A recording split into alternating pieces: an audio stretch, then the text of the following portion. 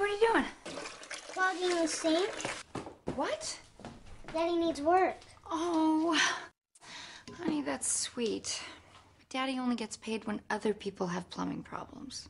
So I should do this to somebody else's sink? No, honey, that would be wrong.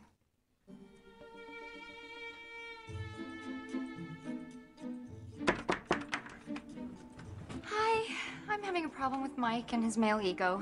Long story short, can I clog your drain?